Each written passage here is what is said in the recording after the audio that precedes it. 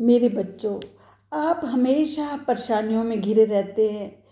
आपकी परेशानियों का कारण ये है, आप सोचते हैं कि जैसा मैं चाह रहा हूँ, ज़िंदगी वैसी नहीं हो रही। मेरे आसपास के लोग भी मेरे अनुसार नहीं चल रहे। उनकी सोच, मेरी सोच से अलग है। यही आपके दुख का कारण है। आपको लगता है कि मैं जो कुछ भी करता हूँ, बिल्कुल सही करता हूँ। उसमें कभी कुछ गलत हो ही नहीं सकता। आपको अपनी हर खूबी और दूसरे की हर कमी याद है। आपको लगता है कि आपने सब रिश्ते दिल से निभाए हैं, बाकी तो बस रिश्तों का फ़ायदा उठाते हैं। आपको लगता है कि आप किसी रिश्ते से दूरी बना रहे हैं। तो ऐसा करने के पीछे आपकी हर वजह जायज़ है। परंतु अगर कोई आपसे दूरी बना रहा है तो ये सरासर नाजायज़ है। आपको लगता है कि जीवन का हर दुख, हर तकलीफ़ बस आपके हिस्से में आई है। बाकी सबकी ज़िंदगी में सही चल रहा है। अगर आपसे कोई गलती हो जाती है तो ये आपकी भूल मात्र थी। ऐसा करने के पीछे आपकी कोई बुरी मंशा नहीं थी। इसलिए खुद की गलती को आप उसी पल भूल जाते हैं।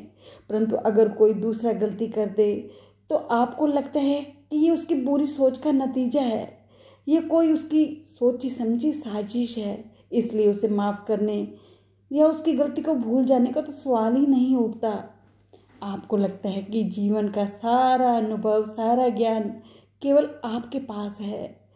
आप एक ऐसे भरम जाल में जी रहे हैं, जब कोई दूसरा इंसान इसी भरम में जी रहा होता है तो वह इंसान आपको इंकारी लगता है, घमंडी लगता है, परंतु जब खुद इसी भरम में जी रहे होते हैं तो आपको अपना जीवन संघर्ष सा प्रतीत होता है।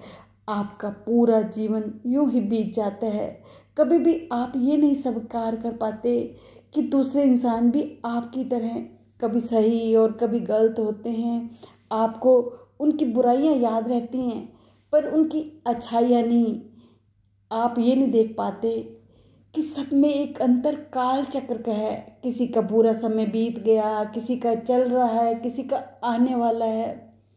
हर वक्त दूसरों की बुराई देखने की आदत के चलते उनकी बुराइयाँ गिनवाना आसान है। परंतु क्या आप उनकी खूबियाँ पहचान कर, उनका हाथ थाम कर, उन्हें उनकी कमियों से बाहर निकाल सकते हैं?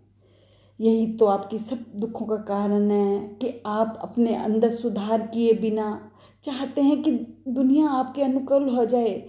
आप अपने आप को सुधारने की बजाय दुनिया को सुधारने की कोशिश कर रहे हैं। ये सब दुखों का कारण है।